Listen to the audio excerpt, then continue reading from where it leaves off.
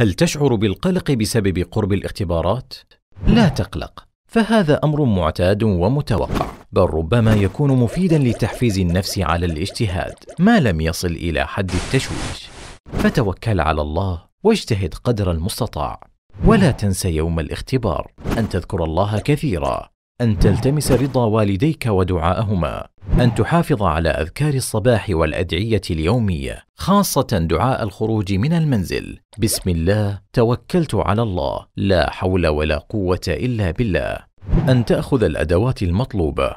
فإذا دخلت قاعة الامتحان وشعرت أنك نسيت جميع ما ذكرته فلا تقلق. هذا شيء طبيعي. والذهن يستدعي المعلومات المطلوبة عند الحاجة إليها. فأنت لا تستطيع أن تسرد أسماء كل من تعرفهم في لحظة واحدة لكن بإمكانك أن تذكر أحدهم بمجرد رؤيته. وهكذا المعلومة فغالبا تذكرها عند رؤية سؤال. ليس للاختبارات أدعية محددة لكن هناك أدعية تناسبها مثل رب اشرح لي صدري ويسر لي أمري. اللهم لا سهل إلا ما جعلته سهلا وأنت تجعل الحزن إذا شئت سهلا. اللهم اهدني وسددني. يا حي يا قيوم برحمتك أستغيث. لا إله إلا أنت سبحانك إني كنت من الظالمين.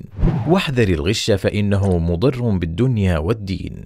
وبعد الامتحان لا تنشغل بمراجعة إجاباتك. واشتغل بامتحان اليوم التالي.